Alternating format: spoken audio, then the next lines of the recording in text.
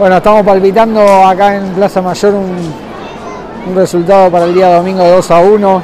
Eh, le mando un saludo a toda la gente de River que, que no pudo venir y, y vamos a estar acá esperando, esperando el partido. Un beso.